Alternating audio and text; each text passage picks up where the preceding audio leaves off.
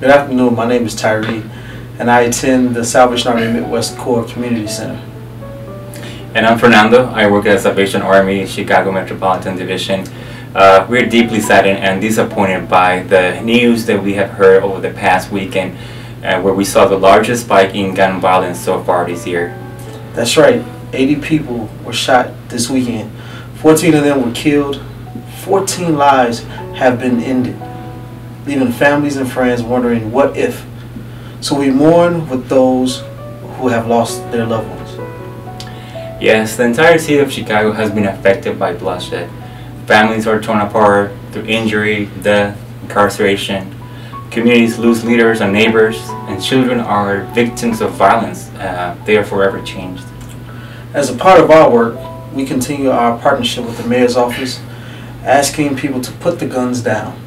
The Army provides full range of programming to keep our kids safe from the dangers of the streets.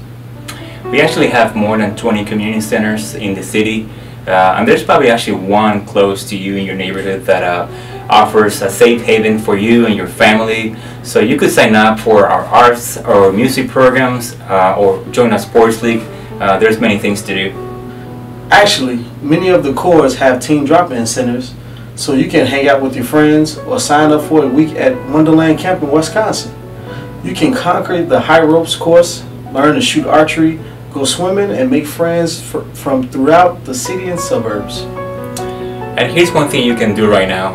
If you're involved in dangerous and violent activities, please stop and put the guns down. Or if you know a child that is at risk and needs a safe place to spend their free time, refer them to the Salvation Army. There's a lot of things they can do here. You can also volunteer at a local corps community center and you can directly impact the lives of the children you meet. Each year we lose too many people to gun violence, Terry, and too many people are left shattered. So we ask you that you join us to provide safe havens for youth and, and teens.